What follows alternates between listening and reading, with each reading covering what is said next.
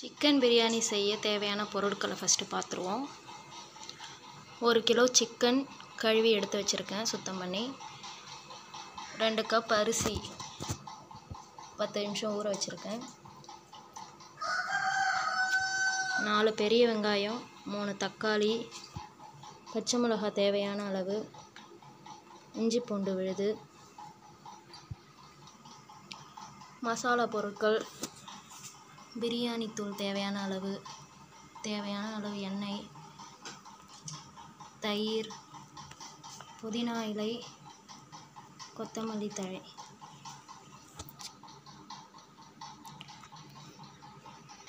வாங்க இப்போ பிரியாணி செய்கிறத பார்ப்போம். அடுப்பில் குக்கரை வச்சு தேவையான அளவு எண்ணெய் ஊற்றிக்கணும் எண்ணெய் சூடானதும் மசாலா பொருட்கள் பிரியாணிக்கு தேவையான மசாலா பொருட்களை போட்டுடணும்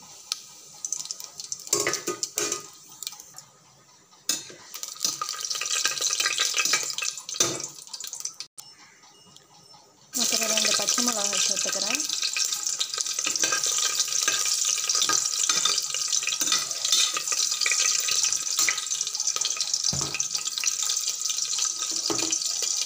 வெங்காயம் சேர்த்துக்கிறேன்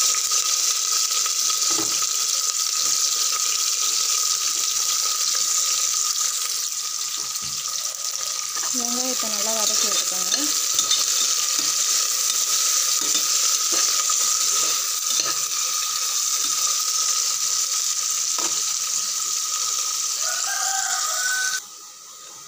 வெங்காயம் நல்லா செவந்த நிறம் வர வரைக்கும் வதக்கி விட்டுக்கோங்க.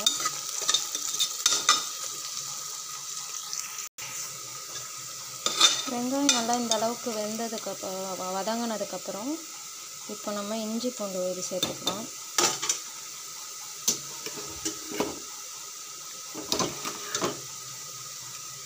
ரெண்டு டேபிள் ஸ்பூன் இஞ்சி பூண்டு விழுது சேர்த்துக்கலாம்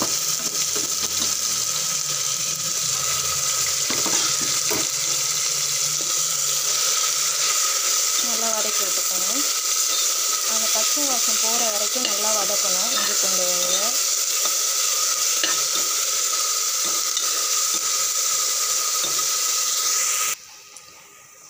இஞ்சி பூண்டு வாசம் போயிடுச்சு. இப்போ நம்ம தக்காளியை சேர்த்துப்போம். மூணு தக்காளி நறுக்கி வச்சுருக்கேன். அதை அப்படியே சேர்த்துக்கலாம்.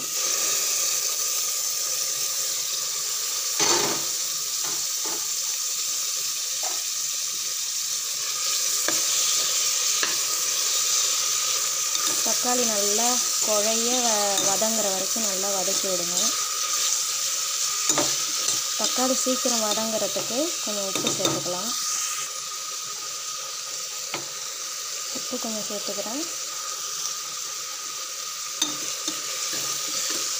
உப்பு சேர்த்தா கொஞ்சம் சீக்கிரமாக வதங்கும் தக்காளி. அதுக்கு தான் உப்பு சேர்த்துக்கிறேன்.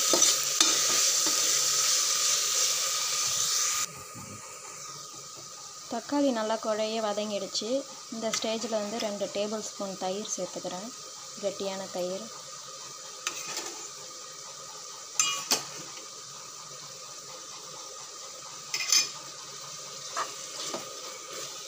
மிக்ஸ் பண்ணி விட்டுக்கோங்க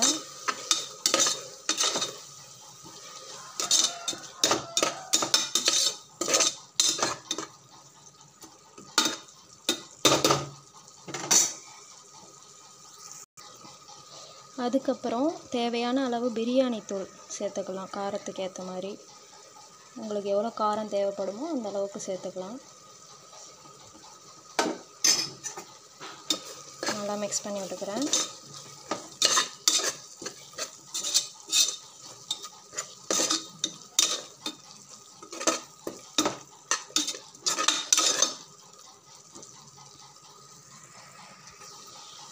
இந்த ஸ்டேஜில் வேக வச்ச கறியை சேர்த்துக்கிறோம் ஒரு கிலோ சிக்கன் கறி.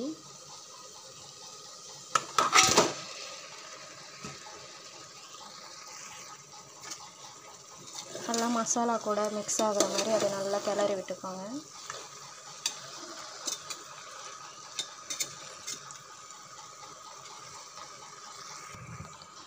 கறி கூட நல்லா அந்த மசாலாலாம் மிக்ஸ் ஆகணும். இந்த அளவுக்கு நல்லா கிளறி விட்டுக்கோங்க.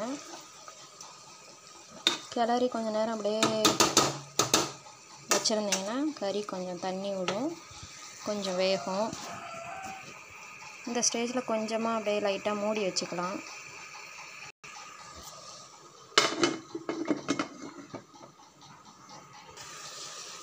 இப்போ சிக்கனில் நம்ம தண்ணி ஊற்றிக்கலாம் ரெண்டு டம்ளர் அரிசிக்கு நாலு டம்ளர் தண்ணி.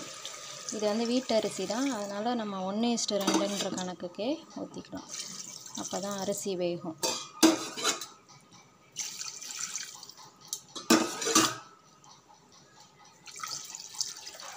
எங்கள் அரிசி கொஞ்சம் லேட்டாக தான் வேகும். அதனால் தாராளமாக தண்ணி ஊற்றிக்கிறோம் ஊற்றிக்கிறோம் நீங்கள் உங்கள் அரிசிக்கு ஏற்ற மாதிரி தண்ணி ஊற்றிக்கோங்க உப்பு நல்லா கிளறி விட்டுக்கலாம்.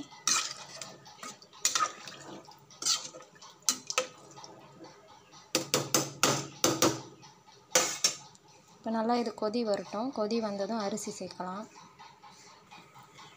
இந்த ஸ்டேஜில் நம்ம வந்து உப்புலாம் உப்பு காரம்லாம் செக் பண்ணிக்கலாம். செக் பண்ணிவிட்டு நமக்கு தேவையான அளவு போட்டுக்கலாம். கொஞ்ச நேரம் நம்ம லைட்டாக மூடி வச்சோன்னா சீக்கிரமே கொதி வரும். நல்லா கொதிக்க ஆரம்பிச்சிருச்சு. நம்ம இப்போ இந்த ஸ்டேஜில் அரிசி சேர்த்துக்கலாம். ஊற வச்சு பத்து நிமிஷம் ஊற வச்ச அரிசியை வடிகட்டி வச்சுருக்கேன். அதை இப்போ சேர்த்துக்கலாம்.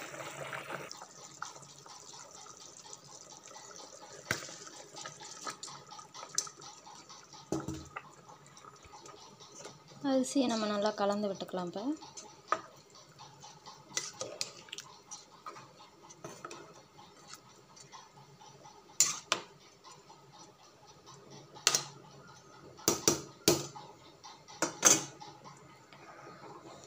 அரிசியும் அரிசியும் தண்ணியும் ஒன்றா வர அளவுக்கு கொதிக்கட்டும். அது வரைக்கும் நம்ம வெயிட் பண்ணலாம். இந்த மாதிரி ஸ்டேஜில் கழுவி எடுத்து வச்சிருக்க புதினா கொத்தமல்லியை தூவிக்கலாம்.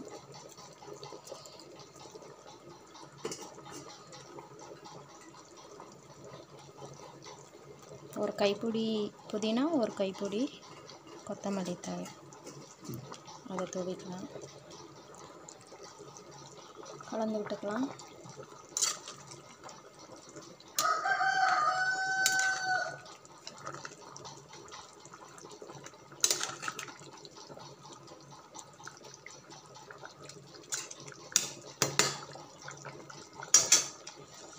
இப்போ குக்கரை மூடி நாலு விசில் விட்டுக்கலாம்.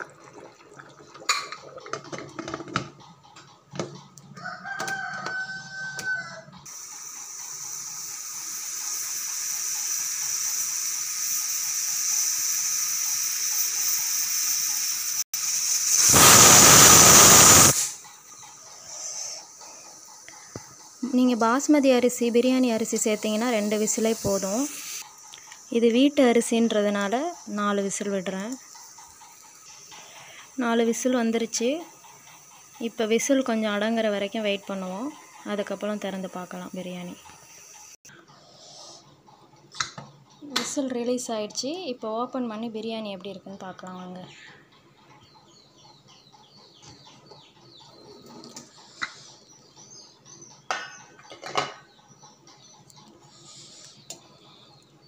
பிரியாணி நல்லா ரெடி ஆகிடுச்சு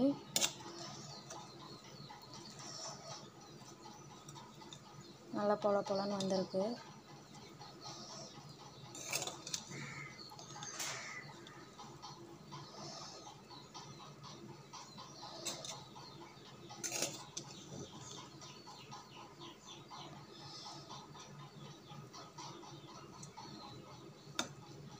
சிக்கன் பிரியாணி ரெடி ஆயிடுச்சு ஃப்ரெண்ட்ஸ் நீங்களும் வீட்டில் இதே மாதிரி செஞ்சு பாருங்கள் சிக்கன் பிரியாணி இப்போ நம்ம பிளேட்டில் சர்வ் பண்ணிடலாம்.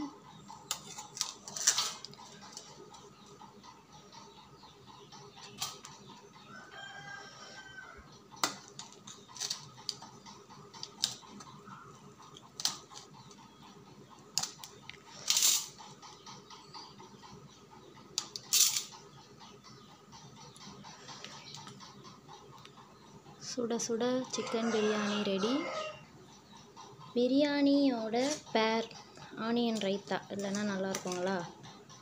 அதனால் நம்ம அதையும் பரிமாறிக்கிறோம்.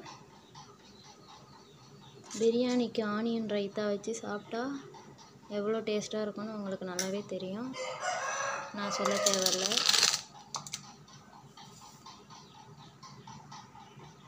Okay friends thank you